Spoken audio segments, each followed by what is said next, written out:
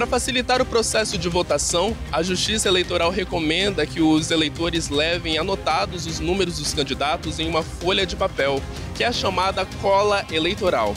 Essa cola vai permitir mais agilidade na hora de votar, tendo em vista que nesse ano o eleitor deve escolher cinco candidatos aos cargos em disputa.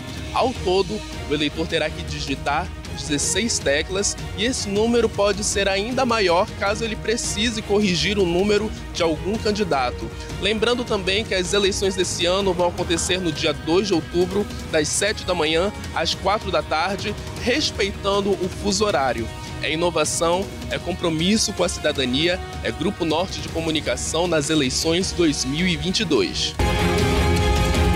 Norte de Comunicação, eleições 2022.